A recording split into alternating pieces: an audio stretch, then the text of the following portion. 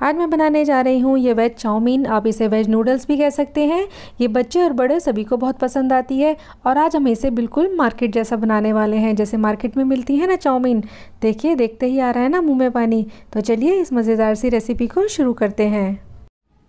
Hello friends जय श्री कृष्णा, मैं हूँ उमा और आपका स्वागत है मेरी किचन में। अगर आपको मेरी रेसिपीज़ अच्छी लगती हैं तो प्लीज़ मेरी वीडियो को लाइक करें। और अब अभी तक आपने मेरा चैनल सब्सक्राइब नहीं किया है तो प्लीज़ मेरे चैनल को सब्सक्राइब कर लें। तो चलिए इस इंटरेस्टिंग सी रेसिपी को शुरू करते हैं। तो यहाँ सबसे पहले मैंने एक पतीले में पानी गर्म करने चढ़ा दिया है, जिसमें हम अपने नूडल्स को बॉईल करेंगे। तो यहाँ पे पानी में बॉईल आ गया है, हम अपने इसमें नूडल्स डाल देंगे। तो यहाँ पे मैंने ये नूडल्स लिए हैं, हमारे ये हाफ़ बॉइल्ड नूडल्स मिलते हैं। ये हाफ़ बॉइल्ड होते हैं, हमें इसे बस सिंपली एक भाप में पकाना होता है। तो हमारा पानी गर्म हो चुका है, अब हम इसमें ये नूडल्स डाल देंगे। आपके पास जो भी नूडल्स हैं तो आप उसको पहले बॉयल कर लीजिए। अगर आप पैकेट वाले नूडल्स यूज़ कर रहे हैं तो आप उसको पहले अच्छे से बॉईल कर लीजिए। तो यहाँ पे मैं इन नूडल्स को बॉईल कर लेती हूँ। अच्छे से मिला देंगे एक बार इन्हें पानी में डाल के और इसमें मिला देंगे नमक। इसमें हम मिला देंगे आधा चम्मच नमक। ऑयल हम इसमें अभी नहीं मिलाएँगे। ऑयल जब हम इसे निकाल देंगे, उसके बाद इसमें मिलाएँगे। अब हम इन्हें कुक कर लेंगे पाँच से सात मिनट के लिए, जब तक ये थोड़े से सॉफ्ट ना हो जाएँ। तो यहाँ पे ये देखिए नूडल्स जो है, वो पानी में इस तरह से ऊपर आ गए हैं। इसका मतलब है कि नूडल्स अच्छे से गल गए हैं। अब हम गैस को ऑफ़ कर देंगे। ये देखिए, इस तरह से नूडल हमें अच्छे से गले हुए दिखाई दे रहे हैं। इससे ज़्यादा हमें इसे नहीं गलाना है। तो गैस को ऑफ़ करके इसे हम स्ट्रेन कर लेंगे किसी स्ट्रेनर में। तो यहाँ पे देखिए, मैंने इसे स्ट्रेन कर लिया है और सारा पानी इसका निकाल दिया है। इसमें मिला देंगे एक चम्मच के करीब तेल, छोटा चम्मच, और उसे अच्छे से मिक्स कर लेंगे जिससे कि ये आपस में चिपके नहीं। इस तरह से इसे मैं हाथों से इसको मिक्स कर ले रही हूँ। ऐसे इसको मिक्स कर लेंगे जिससे कि जो नूडल्स हैं वो आपस में चिपकेंगे नहीं। तो अब हम इसको एक कढ़ाई चढ़ा दी है मैंने। यहाँ पे मैंने एक बड़ी कढ़ाई ली है। तो यहाँ पे जब कढ़ाई एकदम धुआंधार गर्म हो जाए तब हम इसमें डाल देंगे दो बड़े चम्मच जितना तेल। और यहाँ पे तेल को हमें बिल्कुल हॉट गर्म करना है जब तक ये बिल्कुल धुएंदार गर्म ना हो जाए।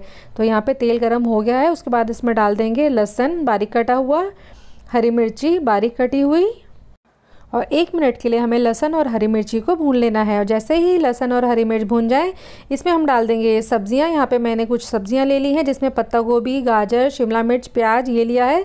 तो सबसे पहले हम इसमें डाल देंगे गाजर और सब उसके बाद इसमें डाल देंगे प्याज। शिमला मिर्च और पत्ता गोभी हम इसमें बाद में डालेंगे। बस गाजर और पत्ता प्याज को हमें एक मिनट के लिए सॉटे करना है। हमें इसमें इसको ज़्यादा नहीं पकाना है। ज़्यादा गलाने से सब्जियों का क्रंच जो है वो ख़त्म हो जाता है। तो इसके बाद हम इसमें डाल देंगे जैसे ही, उसके बाद हम इसमें डाल देंगे पत्ता गोभी और इसमें डाल देंगे शिमला मिर्च। पत्ता गोभी और शिमला मिर्च को डालने के बाद अच्छे से एक मिनट तक हम इसको फ्राई कर लेंगे। ध्यान रहे कि हमें इसमें सब्जियों को ज़्यादा नहीं गलाना है। जैसे ही सब्ज़ियाँ थोड़ी सी फ्राई हो जाएँ, तब उसके बाद हम इसमें अपनी सॉस मिला देंगे। तो एक मिनट के लिए यहाँ पे हम सारी सब्जियों को फ्राई कर लेंगे। ये देखिए, इस तरह से फ्लेम को हमें थ्रू आउट द प्रोसेस एकदम हाई रखना है, लो मीडियम फ्लेम पे इसे ना बनाए। हाई फ्लेम पे ही इसे बनाए तो इसके बाद इसमें डाल देंगे सॉस तो सबसे पहले इसमें डाल दी मैंने रेड चिली सॉस एक डेढ़ चम्मच के आसपास। उसके बाद हम इसमें डाल देंगे सोया सॉस दो चम्मच के आसपास। आप अपनी चाउमीन की क्वांटिटी के अकॉर्डिंग थोड़ा कम या ज़्यादा कर सकते हैं। उसके बाद हम इसमें डाल देंगे विनेगर दो बड़े चम्मच के आसपास। उसके बाद इसमें डाल देंगे काली मिर्ची का पाउडर, एक चौथाई चम्मच या स्वाद के अनुसार डाल सकते हैं आप।